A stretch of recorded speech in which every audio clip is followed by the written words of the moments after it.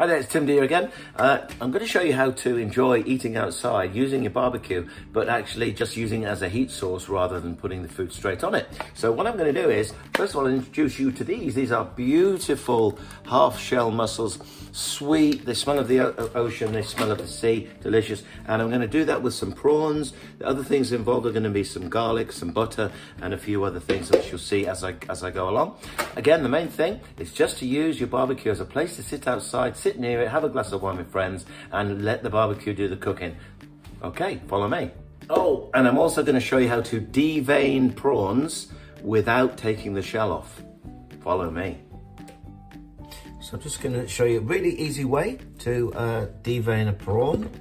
So first of all, you just pull the head off, and then around about the the first or second shell down, you just put the skewer in. You can see, and just pinch the prawn a little bit like that, and you can see it fall out.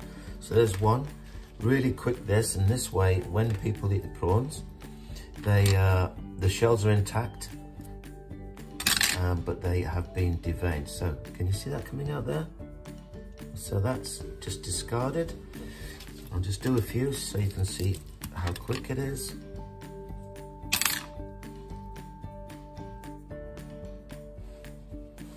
That's it. Dead easy. Pull the head off. Oh, there's a good one. Okay, so now just pinch the, the prawn. You can see that all came out. Brilliant. Easy as that. So prawns in, move them about.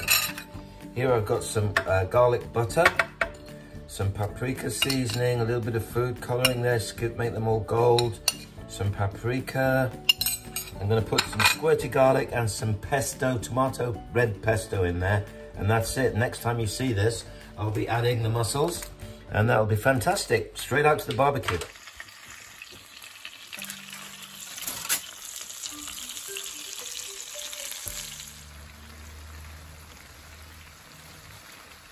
Thank you.